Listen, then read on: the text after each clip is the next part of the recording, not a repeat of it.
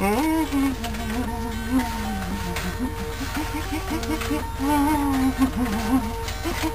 seems a little biggish. Look at that.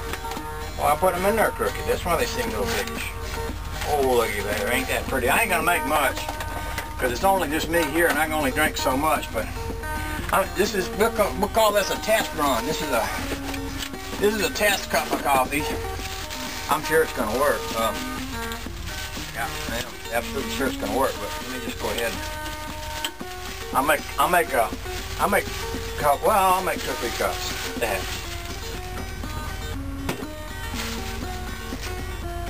Should have plenty of water. I got about a 15 gallon tank and it's almost, it should be almost full. Okay.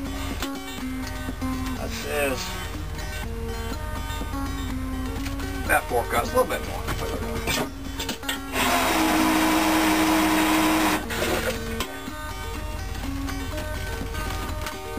Doggies. We're just walking in high cotton around here. And I love this stuff.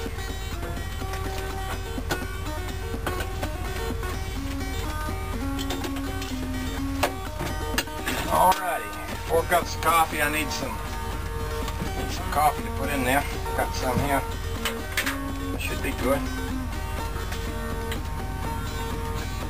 I don't consider myself a huge coffee drinker or anything, but I know Honey Baby likes it quite a lot.